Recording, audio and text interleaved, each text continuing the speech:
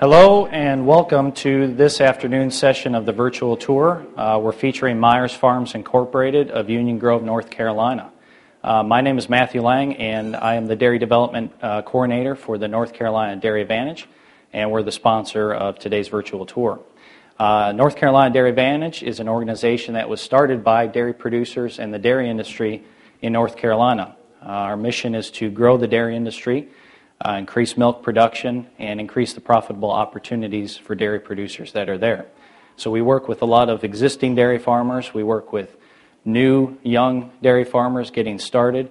And we also are all, uh, open to looking for anybody who would love to move cows to North Carolina and start a dairy there as well.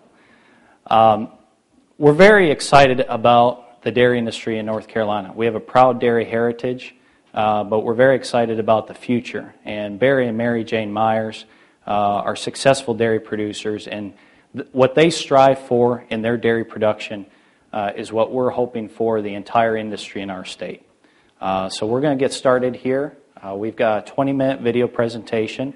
Barry and Mary Jane will then talk a little bit more about their repro management, and then we'll open it up to the floor for questions. Thank you very much for attending.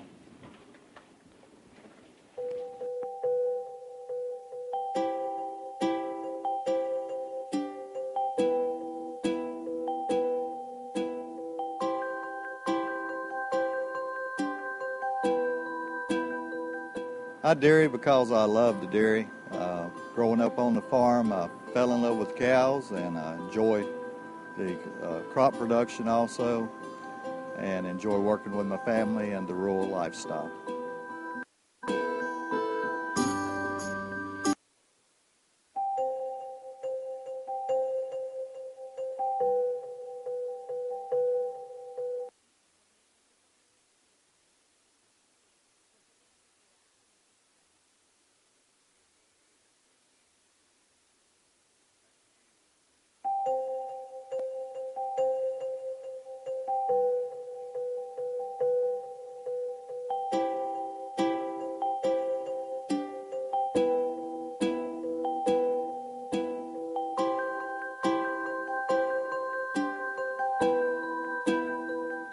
I dairy because I love the dairy. Uh, growing up on the farm, I fell in love with cows and I enjoy the uh, crop production also and enjoy working with my family and the rural lifestyle.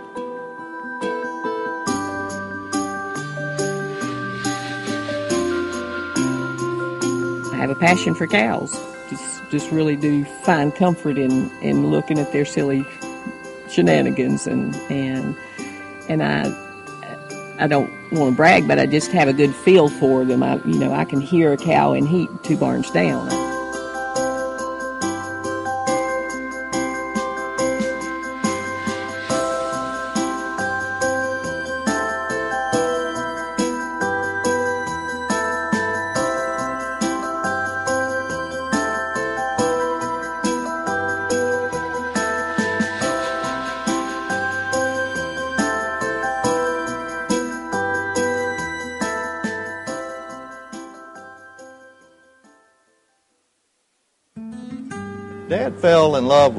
Dairy cattle uh, by being involved in 4-H. He went to World War II and flew Air Sea Rescue B-17, and he said that when he came home, if he lived and came home from the war, he was going to start a dairy.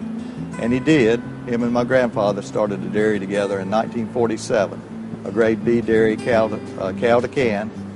Then in 1960, he bought my grandfather out and built a double six herringbone uh, with loafing sheds and upright silos. And and then that that facility was run uh, by him and then by me for uh, 30 years until we built the facility that we're in now.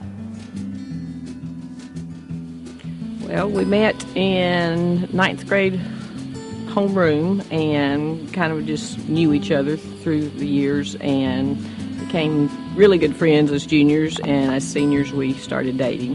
One of his passions is bluegrass music, so he, he went out to Colorado to be a musician and I was at state writing letters missing him and wrote him a letter and said, if you'll come home, we'll get married. When we were married in 74, uh, we were milking, uh, milking about 100 cows. Then in the late 80s, we realized that, that we were just getting really overcrowded and the facilities were just wore out. The new facility that we built in 91 after a couple years of planning what consisted of our double 16 herringbone parlor uh, and also two freestall barns capable of holding 260 cows apiece. After getting it up and running in January of 92, after the first year, we realized we were going to have to build more cows to make it cash flow. And so we started another freestall barn in 93. Then we built uh, two more freestall barns in 98. That's where we're at as far as our freestall capability now on milking cows. You know, when we moved into the new facility, we lost the employees that had been milking in the old. It was just, it was too much, too fast, because one day you're milking in a double, double six and moving milkers back and forth and, and everything. It got up to be 14 hours just to milk one milking. And we got up to the new barn, and you could run. At that time, we had 14 on each side, and, and you were milking all 14 at once, and it was just, you know, we had we had to rethink our day-to-day processes.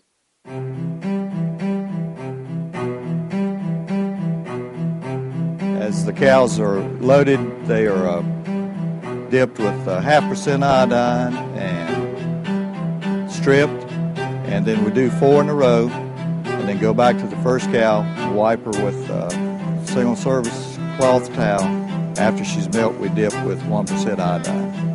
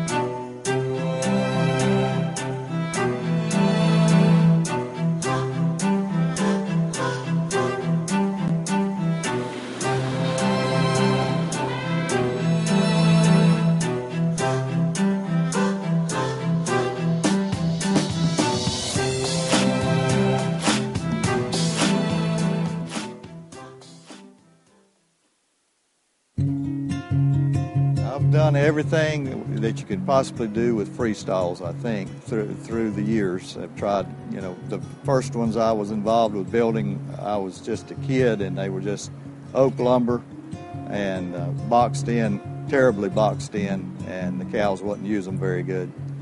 And then uh, we did the tires filled with dirt and put sawdust on top of that.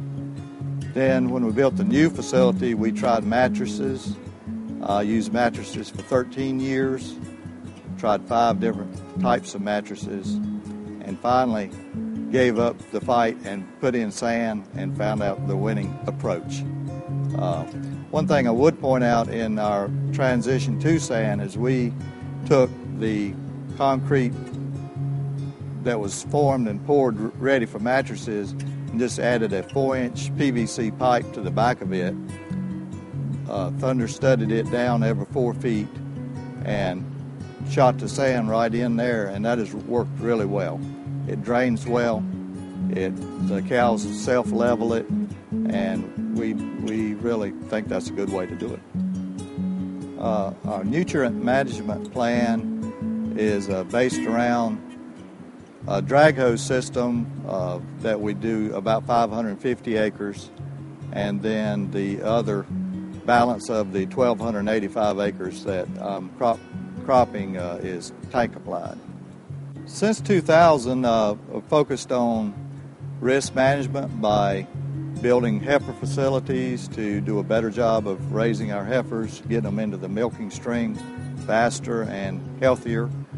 Uh, also have added on uh, more trench silos, been able to acquire more acreage and build more feed inventory to take us through the dry years.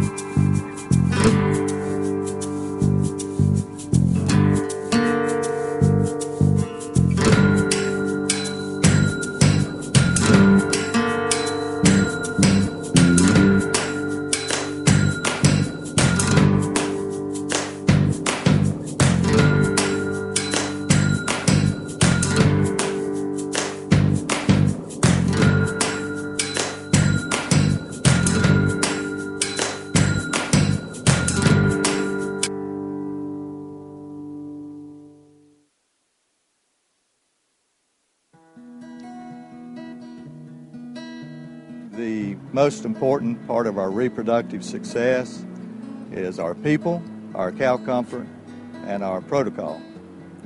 And uh, our people are what makes all the other aspects work. Uh, you can have all the, the perfect protocol, and if they don't follow it correctly, it's not going to work. So, so that's the reason I put people first. And then the cow comfort, the sand beds, uh, the which gives the cows uh, the comfort, the low somatic cell counts, and some traction to ride uh, is important. And then following the protocol that we we've set, uh, and we've we've changed that through the years, but we're what we're doing now is really working. It's a very systematic approach uh, here at Myers Farm as far as generating pregnancies. They use a uh, uh, a Presynch Ovsynch 1411 Ovsynch 56, strict timed AI uh, protocol for first service. Uh, then they uh, use detector tail paint to, to chalk uh, tail heads to find the repeat services, uh, and then resynchronize uh, their cows at, at, herd check, which they do on a weekly basis with a double GNRH Ovsynch 56 program. Our morning plan is to walk through each herd and mark tail heads. And the blue is they're still in the breeding herd, and the green means they've already been diagnosed pregnant. The tail marking has been a great asset as far as, as catching heats. Uh, and then in the afternoon, whether he or I are on, we go through again and do that. And so we spend a lot of time out with the cows and with the heifers when, when we think we're caught up with five groups of breeding breeding groups of cows then we head out to the heifer lot and spend some time watching them and really the only thing we have out there is, is their riding the, the heifer breeding program, uh, they have a voluntary wait period on the heifers of uh, 388 days. They get a shot of prostaglandin coming into the breeding pen. Uh, we use sex semen first two services on, on uh, uh, the, the strong heats. Any questionable heats, we drop back and use conventional semen. Uh, any heifer that's been in the breeding pen for 13 months um, is, is put on a five day CIDR Synch uh, program, and so that ensures a, a, service in those heifers within 30 days of entering the breeding pen. Each person that gives a shot or or breeds a cow or anything treats an animal, you've got to write it down on the barn report, enter it right into the computer, or write it on a report that then will be entered into the computer. Uh, we rely heavily on the reports that we are able then to print out and use on a daily management basis. The genetic selection here at Myers Farm is, is, is, is really balanced. Uh, these guys have em- emphasized some of the fitness traits early on uh, in their selection process. Um, uh, with that being productive life, daughter pregnancy rate, and somatic cell. Uh, the conformation uh, traits that we really go after is uh, uh we want to ensure uh, super good udders, sound feet and legs, and we want moderate framed cattle. They started using sex semen, probably one of the first producers in the country to use sex semen. As we brought sex semen to the marketplace, they actually did some field trials here. And again, uh, as I said earlier, they use it first two services in virgin heifers only, and then move on conventional semen.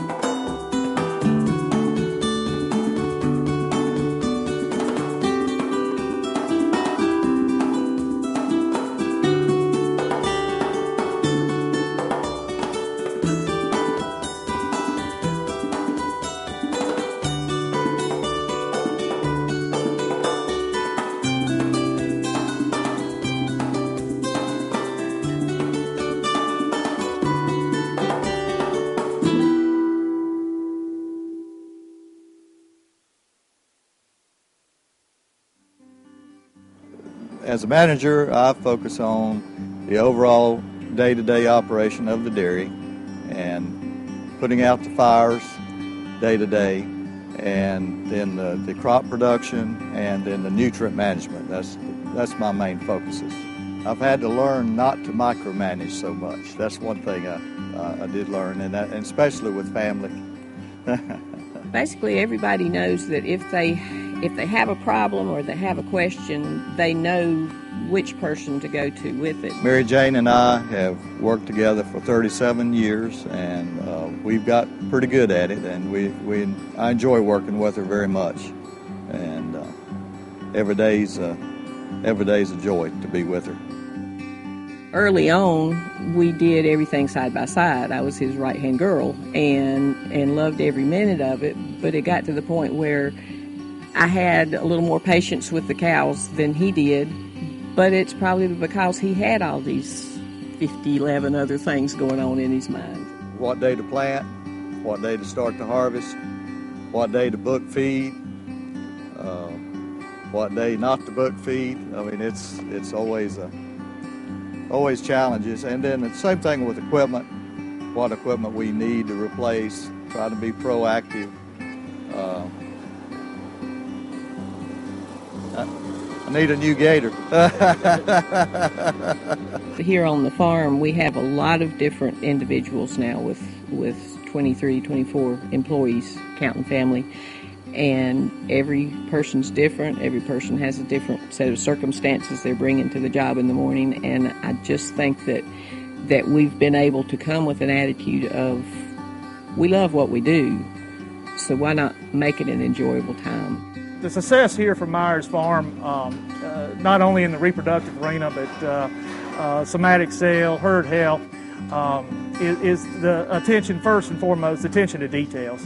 Um, uh, you know, starts with uh, high quality homegrown forages, cow comfort's paramount, and then the people aspect. Um, just long tenured people that's committed to the success of the dairy, real team players and, and the execution of the plan. Uh, uh, most farms these days have a plan, whether it be uh, their milking procedure, the reproductive protocols. Uh, my opinion, the difference between an average farm, a good farm, the difference between a good farm and a great farm is the execution uh, of that plan. And, and, these guys execute every day. And I, and I think that's the big difference uh, that we see here.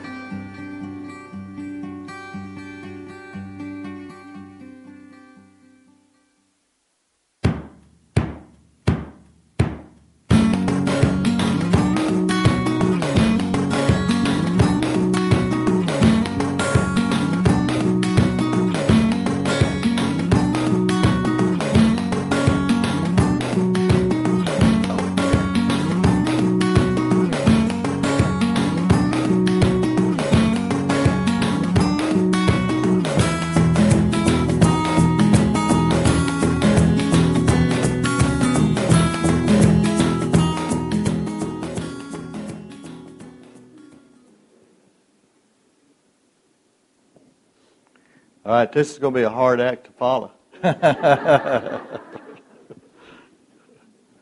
we get to take and, you know, stop and start. So, so this is going to be the real thing here, I guess.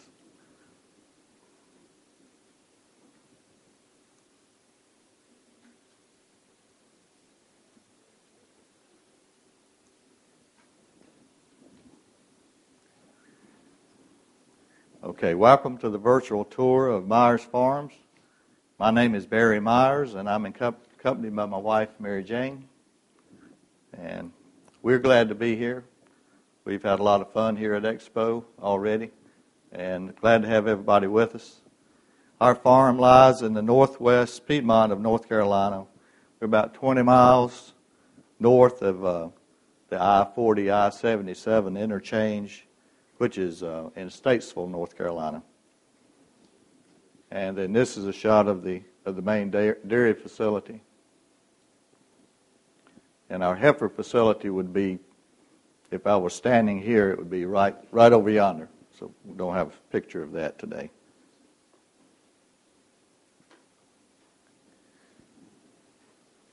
Uh, this focus is, is on our reproductive summary. Uh, our percent herd pregnant is currently 48%, which is 5% higher than needed to achieve a 13.5 month calving interval for our current days in milk of 161. Uh, current 21 day pregnancy rate is 29%. Our first conception, uh, first service conception rate is 42%, and overall conception rate is 36, and insemination rate is averaging 83%. We're proud of that and trying to trying to do better all the time. And there's a shot of our girls that make it all worthwhile there.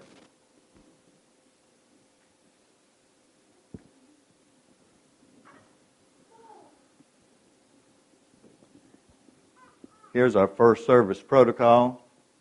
Uh, as uh, formerly stated, we use this Presynch 1411 Ovsynch 56 program. It's a strict timed AI program, uh, but we do allow breeding on standing heats uh, after 62 days in milk after the, that GnRH shot. And then all cows receive first service between 72 and 78 days of milk our first service conception rate average is 43%, and almost half the herd is pregnant by 78 days of milk. And so here's a shot of Mary Jane breeding. She's the main stud on the farm.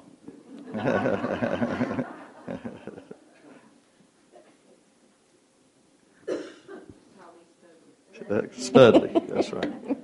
Uh, this is a scatter, a scatter plot that shows our days in milk at first service. And uh, course, our goal is to have everybody bred by 80 days, which is the green line. And the average right now is running 74, the blue line. Uh, the, the red dots are the first lactation cows, the black dots are second and later. And and of course, you see the, these the ones that are below are the cows we're breeding on natural heat after that 62 day range. Then you got this one really, really out here outlier. I'm blaming that one on Mary Jane on her sweetheart cow that she just couldn't wait on, I think.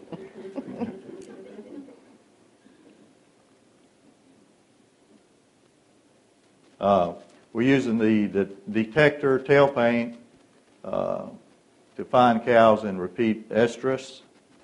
Uh, we use this, the uh, blue detector on the uh, cows in, that are, need to be bred and or could be repeating.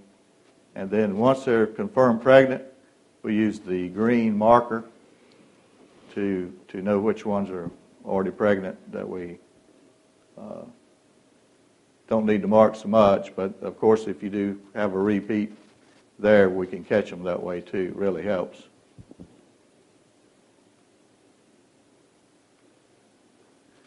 Uh, this is our resync protocol. Uh, cows are injected with uh, GnRH seven days prior to the preg check. And then started on an Ovsynch program 56 if they're checked open. And by giving this extra GnRH shot seven days before uh, the preg check, uh, we can immediately start them, and it cuts about two weeks off of the rebreed. So, so this this has been a good program, and it helped us to get the cows bred faster.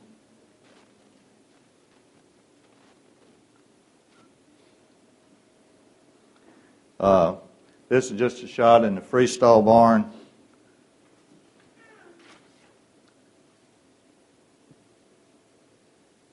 you can see the uh, drive-through feed lanes, the lockups. There's where we do all of our breeding, all of our reproductive work as they come from the parlor.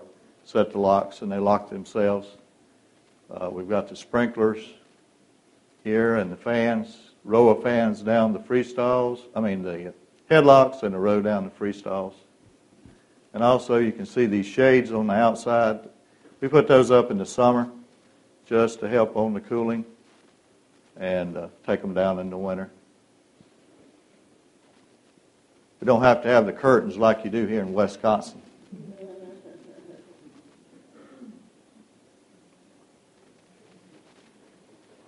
This bar graph is showing our insemination rate, heat detection uh, average, which is running 83% right here.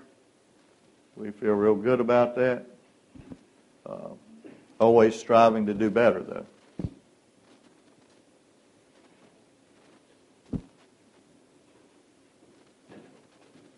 And then this bar graph is showing our 21 day pregnancy rate with a 29% average.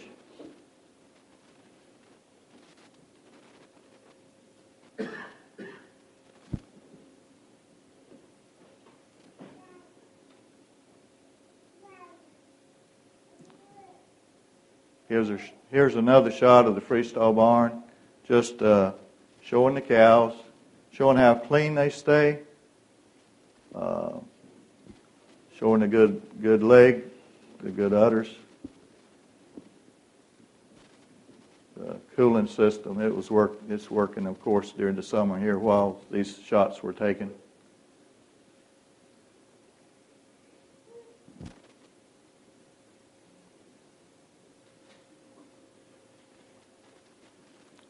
This bar graph is showing our conception rate by service and lactation number.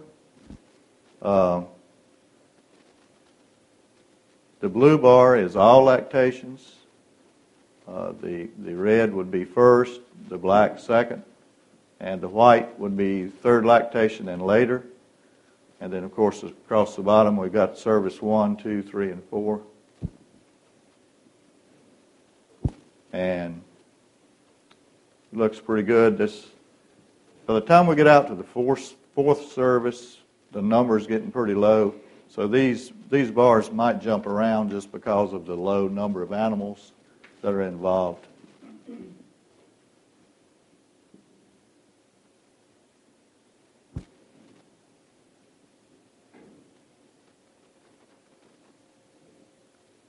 Then here's a, a, chart on our heifer performance. Uh, age at first breeding, 389 days. And we're getting 86% of them bred uh, by the first cycle past the voluntary waiting period. Uh, we're getting 49% of them pregnant on that first breeding. And then by the third breeding, so these first two would be sex semen. By the third breeding, we'd have 75% of them pregnant. And the uh, fresh heifer calving age right now is averaging 23.1 months.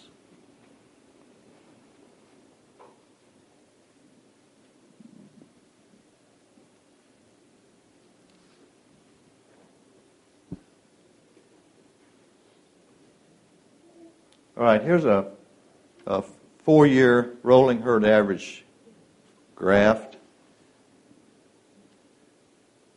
Right here is where we quit using Posilac. This was January of 2008. Uh, at that time, our uh, at that time our herd average days in milk was 230 days, and with this led to a rapid decline in a rolling herd average, as you can see but our reproductive rates started greatly improving. And then this resulted in decreased reproductive culling, and then a decreased calving interval, and increased replacement heifers, increased voluntary culling, and then ultimately our days in milk have fallen to 160 days, and our rolling herd average, as you can see, is higher than ever. And actually, our latest one that we just got before we got on the plane, we we were over 28,000. So we're on a good op- upward momentum, and hope to keep that going.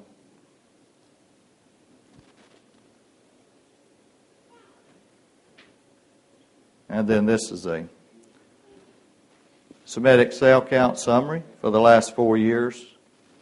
Uh, you know, it wasn't too shabby at this point. We had already put in sand uh, two years before, and we were staying in this, you know, 130, 140 range, getting lower at times. That would have been, that was in July, uh, July right there. But um,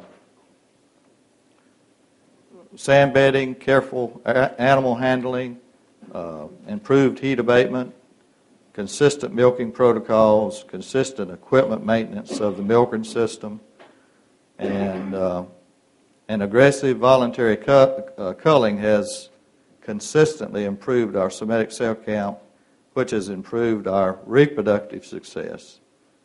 And I was told we're supposed to brag, which, you know, farmers is hard to brag, but, but uh, we have received uh, numerous cobblestone co-op quality awards and, and the NC State Don Weeson uh, Platinum Quality Award for uh, several years in a row.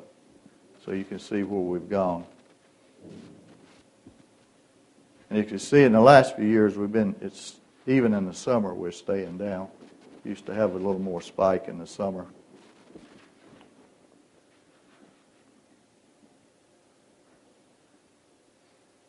And this is the final shot. This is our McClanahan sand separator, which allows us to, to uh, provide clean, uh, unlimited, basically, quantities of sand to use it on freestall um, because we get to recycle it and use it over and over. And this has been a good tool. This is what enabled us to go away from the mattresses and go to the, go to the sand bedding.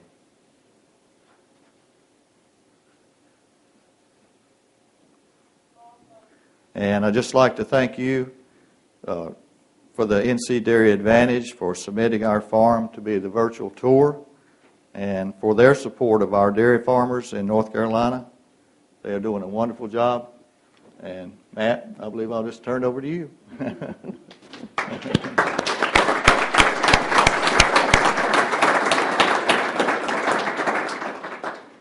um, okay, at this time, it, we can open it up to questions. Uh, Barry and Mary Jane are mic'd up here, so uh, feel free to ask any questions that you might have. We just ask you to stand up, say it loudly, that way we can hear you. Yes, Dr. Washburn.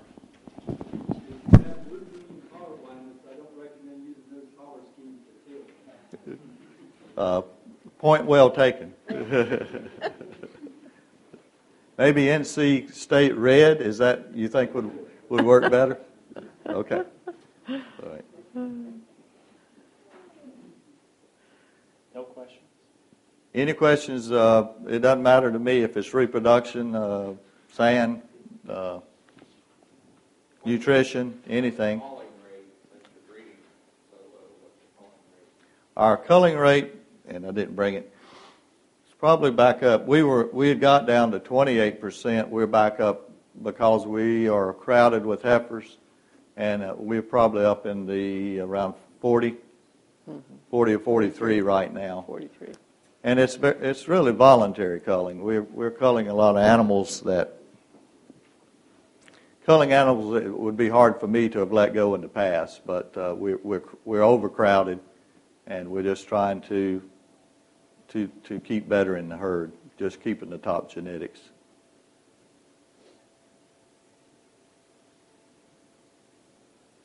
Any advice to dairy producers who might be looking at expand, expansion? Expansion. Uh, yeah, my advice uh, for expansion is to is, is to remember to look at the whole picture look at your uh, not only what you're going to do for your for your parlor and your cows and your waste handling there, but to also really focus on your what your heifer raising program is going to be like. Uh, if you're going to be able to do it on farm, or if you want to try to custom custom it out, and um, uh, and then of course I guess the other thing is just uh, get ready to deal with the permitting process and the and the and the public and and hopefully we're up to that. That's that's something we didn't used to have to do so much, but that's that's the reality of the world we live in now. So that's that's a big part of it.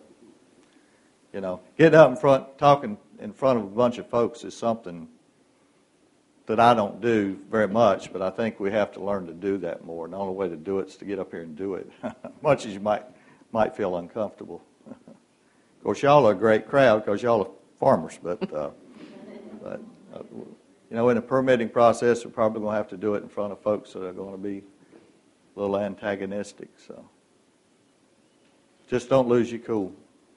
yeah, we'll take uh, start in the back there first. Uh, red shirt.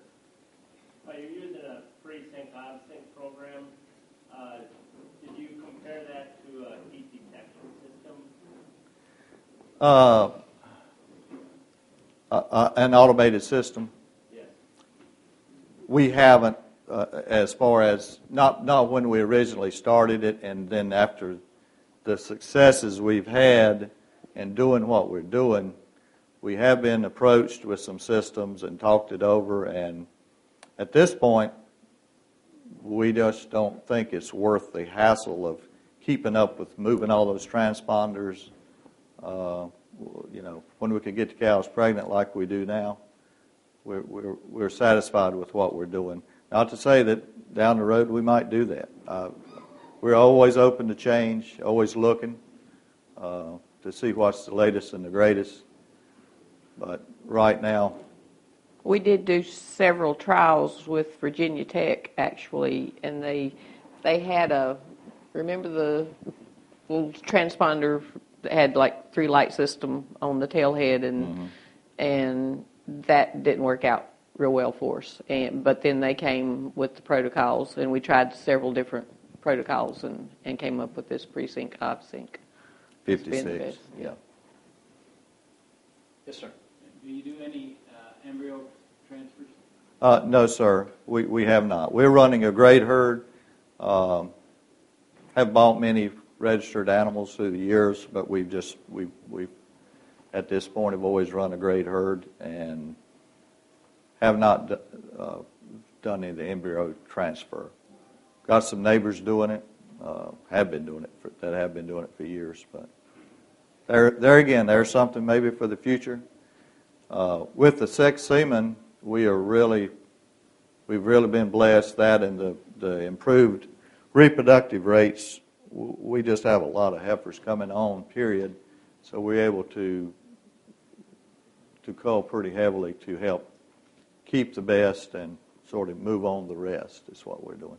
What is your percentage on stack sex semen as far as the heifers? Uh, on the heifers, I think we're we had were running the last time we looked, and it you know maybe don't analyze everything as much as some folks, but we were, were in the ninety percent range, maybe ninety two at times. So it was pretty much doing what it said, uh, what it's supposed to do. Which is why the heifer barns are full and Yeah. Yes, sir. What days are you doing preg checking and what are you using? We, we preg check on the milk cows uh, once a week, every Monday. Uh, we're preg checking at 36 days, and we're doing uh, rectal palpation. Um, our vet has been with us a long time. He has not gone to the uh, uh, ultrasound. ultrasound yet, yeah. But uh, that may be something in the future that we do go to. I, would, I, I really think we, you know, I sort of want to go to it, but we haven't made that move yet. Then we're, we're preg checking our heifers every two weeks now. That's one thing we were only preg checking heifers once a month for a long time. At 45 days. Uh, yeah, and checking them at 45 days. And we we saw we were having some slippage on heifers, and, and, and one big thing on our heifer facility is they have become pretty overcrowded, and it really has hurt us some on our heat detection out there. So to overcome that, we've gone to, to checking them every two weeks, and then we're doing the five-day CIDR on anything we find open. We're having a really good success with the five-day CIDR program. And I do. I did make a note in case you on this five-day CIDR. We're we're putting the CIDR in on day zero, right when she's checked open. Uh, we're taking it out on the uh, the fifth day and giving her Lutalyse, and then breeding on either standing heat or time breeding everybody. Uh, let's see on the on the eighth day after the uh, after the uh, CIDR was out and the lice was given, and our I don't have the figure, but the, the conception rate's been really high doing that. So we're real enthused with that. Been, you know, this five day we, we've only been doing probably a year, maybe Yeah. about a year on the CIDRs. And one thing I'll say on using CIDRs and heifers is we completely pull that tail out. We, we don't leave the tail at all. We've tried snipping it every way you want to. Just take it out, insert it in, and then when you're ready to take it out rectally, just just work, bring it back and, and pull it out. Otherwise, they'll be gone.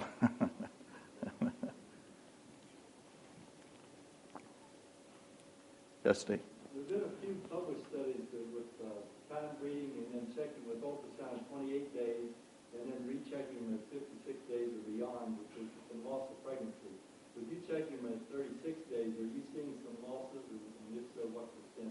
Beyond that?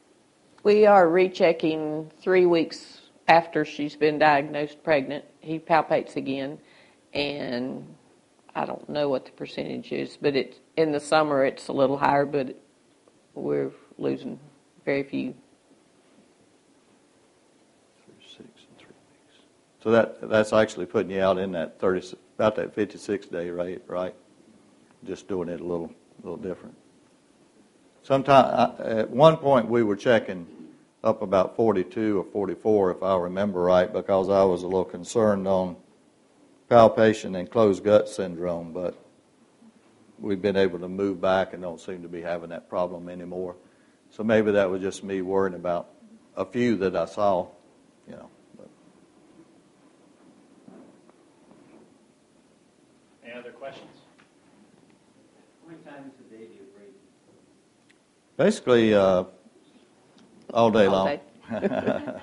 all day long, basically. In other words, they locked up and uh, they observe cows going to the parlor for natural heat, every group as they're going. Um, and then as cows are coming out and locking up to, be, to eat, they're breeding, so they're going through each group as they come back from the parlor. The heifers are bred sort of periodically. Uh, Mary Jane and Carl, my two main breeders, uh, What I try to do when I'm on, uh, I, I work a lot of weekends so that if I want to be away, then he'll work for me. But uh, Thursdays is is the day that we time AI, and so we we lock up the cows as they come out and breed each group because that's the way the shots were given on that Monday and Thursday. And, um, and then otherwise, if I'm on, then I come in and try to walk through the groups before they're loaded, and then if it's if it's timed right, I'll go over and I'll watch them load a group of cows to see if there's any standing heat. But really, by that point, I've already made my notes of, of who's who I think has been rode by the the paint, and lots of times I can can get a cow bred before she goes into milk because who's to say she wasn't riding? And especially if she's laying in a stall and her paint's gone, then I know that I need to get her bred now instead of waiting until she comes back out in three hours or four. So it's it's kind of a nonstop. Uh, we do try to to walk through each of the breeding groups and remark the paint twice a day, and in between that, then you're going and watching the heifers. And indeed, with the overcrowding with the heifers, it's it's harder to watch because heifers are just wide open because everybody's up and playing. But if you time it right with the feeding and and everybody settling back down, then you can catch the heifers then. So We don't have anybody breeding at night, though. Well, basically, it starts from about 7 a.m. to 7 p.m. basically, and Yeah. and then the the tail chalks doing or tail paints doing the heat detection during the night for us. Although we're milking three times a day, there's no one breeding at night. and with the Presynch, I think you uh, you know there's there might be a Tuesday when you breed three cows, and then the Tuesday that I'm on, I might breed 20. So it's kind of you never know. And and the weekends, some weekends are are real slow, and some I'm just breeding all the way through church. so seem to be doing an excellent job. What is your one biggest On the reproduction, on, on the whole dairy? one biggest problem. That's loaded. That's loaded. That's really loaded. I'm trying. One, Price could always be higher. Well, yeah, yeah, a- and uh, one biggest problem. I don't know. I'm having trouble. I'm, I'm having trouble bringing that one up. I mean, we all have one week. One problem is our biggest problem, and another one is something else. But I think overall, we've got a fairly balanced approach, and don't have any major. Uh, there's no major breaks in, in the length of the chain, or we would not have the success we've got now. yeah. So if we could just keep things on track, and keep making little improvements, I think we're going to be. Communication can be a hard thing, whether it's between us or, or other employees or our sons or whatever, but uh, you just have, like I said, you have to come with a positive attitude. Somebody's got to keep spirits up. I mean, some days that's Do you just have what it is. Turnover of employees? Uh, no, sir. We, our employees, uh, most of our employees have been long-term employees.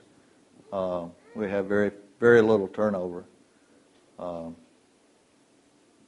some, some of us are getting a little older, long in the tooth, I guess you might say, and so, I, you know, one day Ethan, Ethan's our, our, Ethan and Josh are two sons. I guess they're going to have to replace us all. So, so, so we'll see. Besides you two, who are the other decision makers and what kind of division responsibilities do you handle? Uh, my our oldest son Ethan is one is our biggest decision maker, uh, handling the cows day to day now, and, and, and actually the functioning in the in the parlor, um, and, and also has taken taken pretty much complete control on sire selection. Still likes Dad to have a little input, but but I'm letting him pretty. I mean, pretty much I've backed completely out of that. Um, whereas I'm focusing more on the, uh, the just the day-to-day mechanics of the farm, waste management, uh, crop production, and uh, you know, just like this past Sunday, come we come back from church, and and our uh, other son Josh was on on that morning, and he we had a uh, one of the coolers wasn't cooling down very fast, and said everything's running, and so I I stop in my Sunday shoes and go out and and look, and it looks like everything's running, but we had a compressor out, you know. So just knowing those little things, I guess that's it it takes time to impart those things to to folks. But we we've got uh, we've got good help with nutrition from our uh, Purina representative. He comes w- weekly, works with us on that. Um, yes, we, and and our veterinarian. We just got a good team overall. Everybody chips in. Ethan's in herd, ma- uh, herd health. I mean, he deals mostly with that, with the uh, ordering of, of supplies and, and keeps up with the vaccination program, keeps all of us, I mean, he makes the reports and sends the right people out to, to do those things. And it's just like with the uh, Presynch, five sync protocol, he, you know, I've, I, I, I do it, but he knows the numbers. He works the numbers and, and prints it out, and then we go follow through.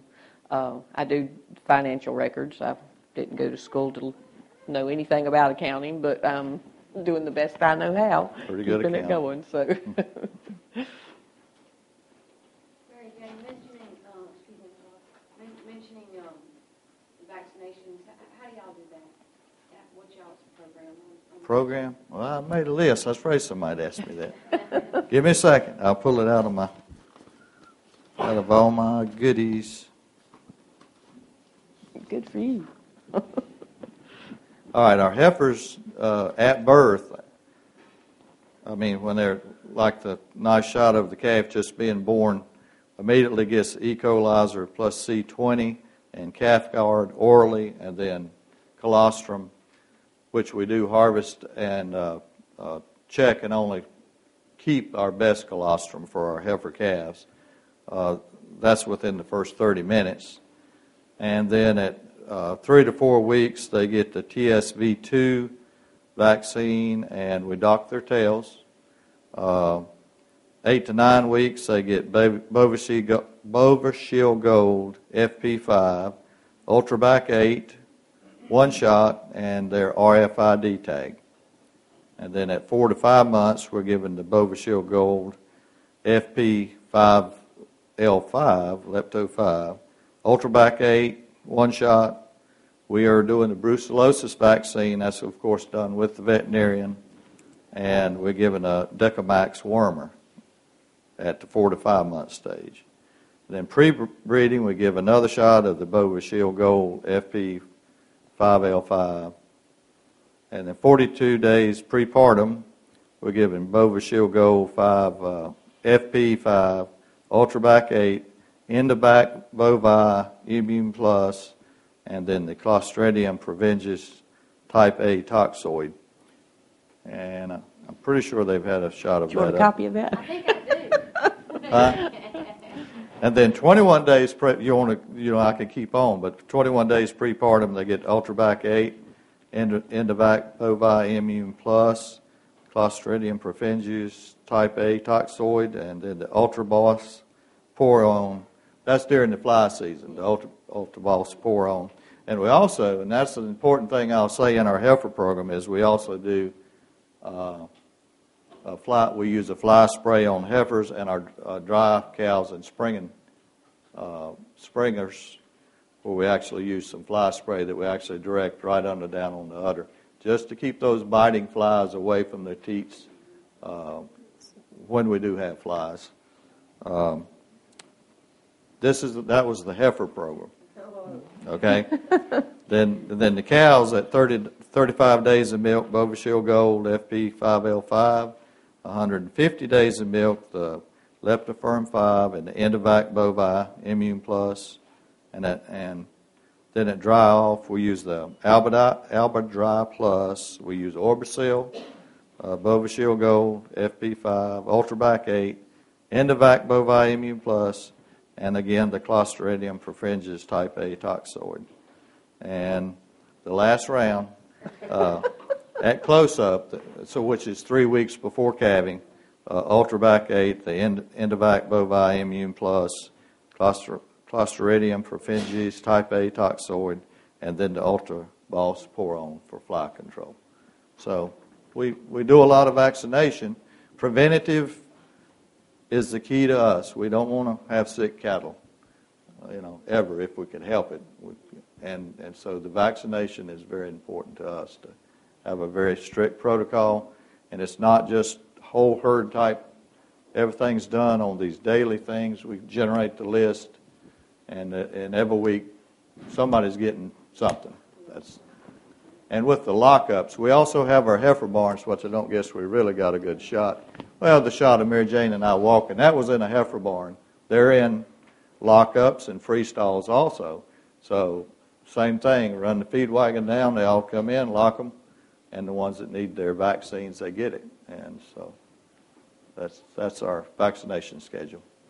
Thank you. There will be a test. second- The next generation in, How? yeah. Uh, How are well, E- uh, Ethan is 35. 35. The oldest son, Ethan, is 35, and he was a dairy farmer at by eight years old. Three. Uh, he helped me feed calves when he was three. Well, yeah, and really was bound and determined that by eight, and, and went to NC State, got dual degrees in, in uh, animal science, science and agribusiness, and could do a lot better standing up here than I can do. I tell you that. But so that was his, you know, he. So we had him all along wanting to come, and then the, our middle son Josh was uh, more uh, artsy and wanted to said worked hard on the farm and enjoyed the enjoyed the dairy. Uh, Very good cow person. good cow person and uh, and a good equipment man too. When he runs equipment, he's more careful than a lot of folks. Doesn't tear up stuff. But when he left to go to college, he he told me the last day he worked. He said, "Dad, uh, you know, loved working here, but this will be the last day on the farm. For me, I'll be here to visit once in a while." And we didn't see him again until he graduated. Basically, I mean, just except for Christmas. But when he graduated, he came back to the farm. He's married now, got two grandchildren. He's there to stay also. So, and then our younger son, uh, he's he's uh, Just turned 30. he just turned 30, and he he loves being his own boss and don't want dad to tell him hardly anything. So, so he's run, he's got his own business, and he's very successful in Raleigh with a home improvement business. So we've been blessed uh, from that standpoint. I think what I see in our area for the, the, the dairies that have not been able to move and, and transition has been a has been the inability of of uh, parents to let their kids to take hold, make their own mistakes, and and always, you know, a lot of folks are just always down, and we try to be a little more upbeat. Not to say it don't get down once in a while, but I think that's a big reason that, that people have not stayed on the dairy. So you got them in percentages, or how are they involved? Right now, the uh, uh, basically working for wages, punch clock, work by the hour. Uh, do own, do have some land ownership um, that they're working on, and um, that's something we get we, we're getting ready to work on, needing to work on more. My dad uh, just passed. Uh, my mom passed uh, in 01, and Dad passed in 06, and we're still trying to finalize all of the all of our generations. We have a brother in the business, and something's got to be dealt with so that we can move on to the next generation. yeah, yeah, we don't have all of that completed yet, and still working on it. So once we get that done, we really want to plan on on the next step because I don't want to wait to the last minute. We don't Who want the when the government, for sure, we don't want the government to make those decisions for us. So, so that's it's a good question, a hard question to answer. But I will say again, I would reiterate that if you're in the business, and you got kids. Uh, I guess two things: our our willingness to grow provided opportunity for the kids to, to, to stay if that's what they wanted. Never said you need it, you got to stay. But you know, I wanted to grow. I always heard his mom say that he that she wanted him to go on and try something else, and then make that decision to come back. And of course, Barry, Barry and Tony both came back, but at the same time, she was very forward thinking in everything. She was an extension, and she probably had the first PC computer that anybody ever owned in their home, and, and just very forward thinking. And she passed it on to him, and was willing to go into debt to expand in order for the two families to come back and farm. And there were other farmers in the community that that were not willing to let the son go into debt to, to do what he needed to do to expand. So, so they lost that opportunity. Yeah. Yeah, my, my, my mother really tried her best to get me not to farm, to be honest with you. She, you know, she said, go, go do something else. But I guess that really made me want to stay, didn't it? Well, I, and I would try to get Ethan to stay. He was down at NC State, and besides the fact that I worried about him on the road back and forth, but he would come home e- every two weeks, and he finally just told me, and I would ask about girls, and and he said, "Mom, nobody in Raleigh knows who I am. The only the only person that I am is who I am on the farm." And I knew then that he would be back on the farm somehow, some way. So. and we've been blessed. We've got wonderful daughters-in-law, and uh, and two wonderful grandchildren. And boy, they're fun to spoil. Well, I think that's probably what we have time for today. Uh, Before you all do go, I first and foremost want to thank you for coming. Hope you found it as educational and as enjoyable as I did. Secondly, if you're interested in learning more about what Barry and Mary Jane are doing, learning about opportunities in North Carolina, or learning more about the services that we provide through Dairy Advantage, we're actually just across the hallway in that little room with the cheese and snacks. So go gr- grab yourself some cheese and some snacks and stop on by our booth and see what we've got. And uh, last but not least, um, I, I, real quick, I, I have to say that I really appreciated working with Barry and Mary Jane. You know, so often, not just here at Expo or other places, you hear about all these technologies and basically things that we're told are there to replace our judgment. And at the end of the day, working with these guys, I just realized that you can't replace common sense and you can't replace your better judgment. And that's, that's really why they're successful. And to trust the judgment that you make with the decisions as an owner and as manager and move forward. And uh, that's what they've done, and they help remind me of that in working with other dairy producers, so I appreciate that. So uh, we hope you enjoyed it. Uh, Enjoy the rest of your day and have safe travel back home. Thank you. Thank you.